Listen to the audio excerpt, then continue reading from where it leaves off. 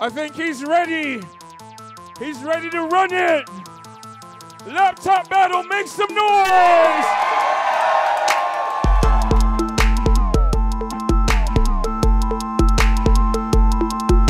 The Laptop Battle is a competitive event for uh, electronic musicians, um, and it's a place where electronic musicians uh, who may or may not, you know, have the opportunity to perform as a DJ or, or as a producer uh, in front of a, a large audience um, can come and kind of showcase their skills in three-minute blasts. Laptop battle, one more time, make some noise. Ross!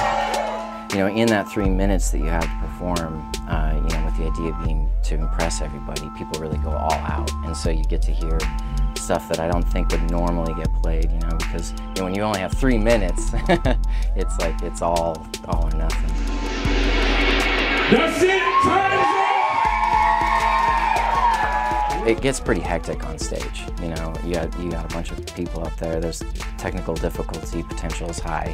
There's, there's definitely camaraderie between the contestants, but there's also like, you know, people, some people are cramming at the last minute and trying to get their set ready right before they go on. Other people, you know, don't even bother breaking out their laptop until right before, so. Creed is moving on!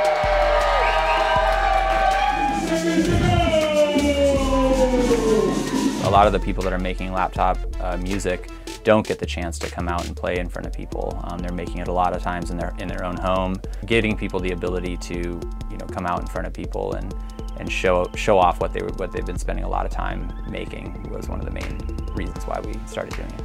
The winner of Seattle Laptop Battle 2015, Pterodactyl Team!